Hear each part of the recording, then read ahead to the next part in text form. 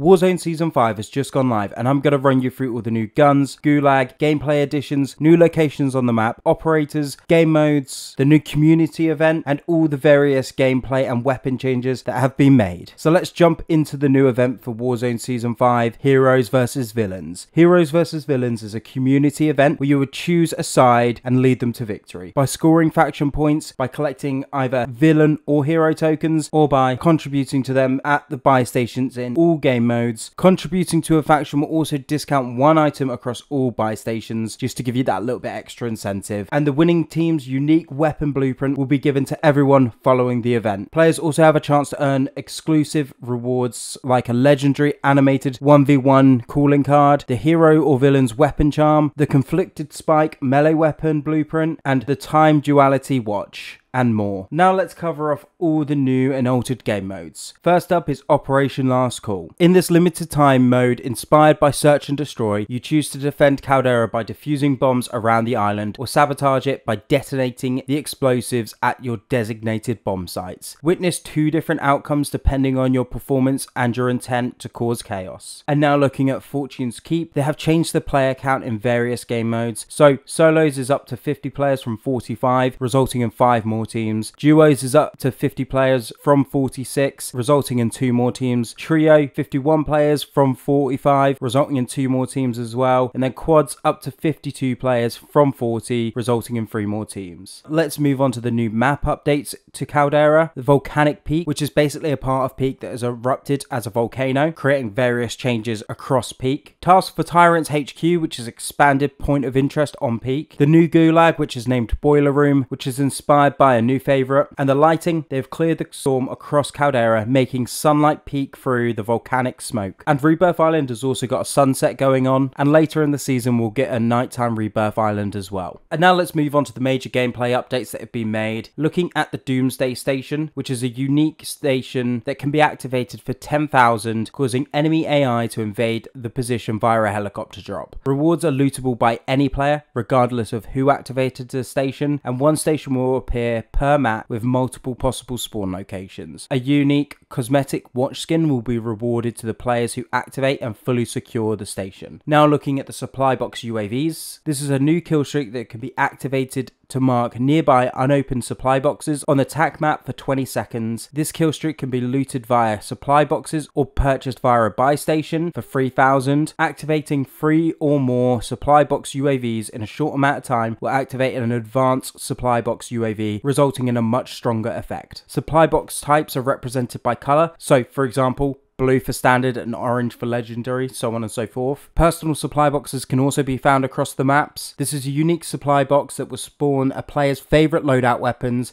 and reward the player with 2000 XP. Players can set a favourite via the weapons in edit loadout menus. And lastly on the gameplay changes, you can now find a field upgrade called Rage Serum. Players can use this field upgrade to boost their close quarters capabilities for 40 seconds. Positive effects include an increased movement speed, melee and unarmed damage, damage, lunge distance, and melee stun power. Negative effects include players have a louder presence, so your footsteps are probably going to be louder, visible rage effects on the operator, and stun and flash vulnerability is increased by 40%, but this effect can be countered by the battle hardened perk. So expect to see a lot more people running around with riot shields and using this rage serum. And there have been a number of quality of life changes to Warzone, including sorting out the precision airstrike notification. About time they've sorted this out because I've died countless times to this. C4 ground loot will now sit horizontally. There is a quick inventory menu that will allow you to manually equip and unequip the gas mask. Buy stations have been adjusted to add the previous items mentioned. There is also now a setting that will allow you to use the loadout last used to be remembered and come pre-selected when you go to get your loadout. And planes will no longer respawn once destroyed unless it is in game modes such as plunder. Perks have also been updated. So with serpentine, fire and explosive damage is no longer decreased whilst running. And then later Later on in the season, players will have to use TAC Sprint to make Serpentine be effective. Battle Hardened has also been buffed,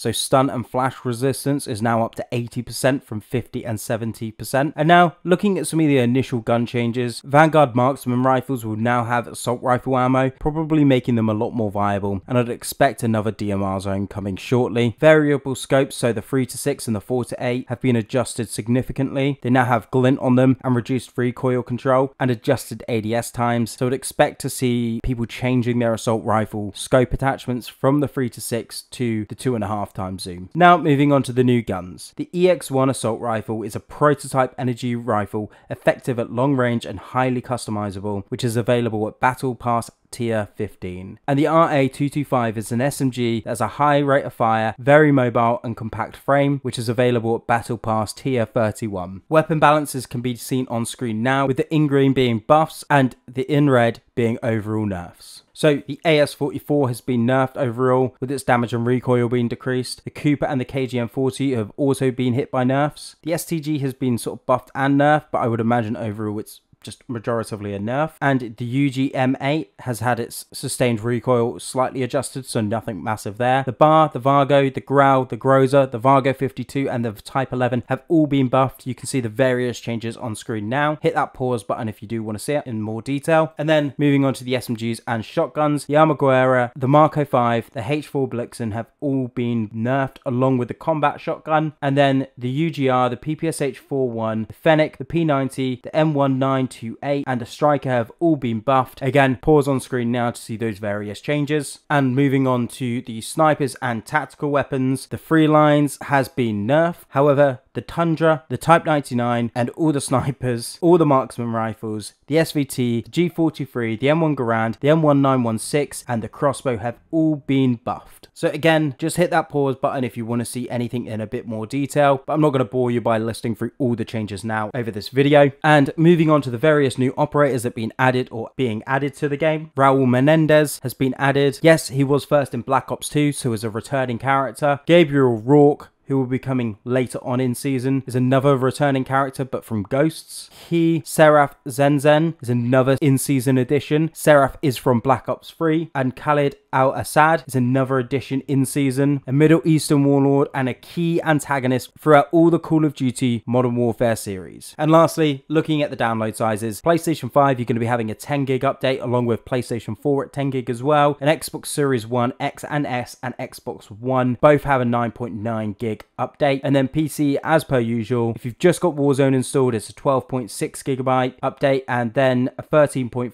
gigabyte update size from Warzone and Modern Warfare. Yes, it's been a little while since I posted. I've just been taking some time out. My son has sort of been in and out of hospital. All is fine, but I'm going to be back to posting regularly now going forwards. So hit that like and subscribe button if you did enjoy the video and if you want to see more of this kind of content. Cheers for watching then, guys. Bye.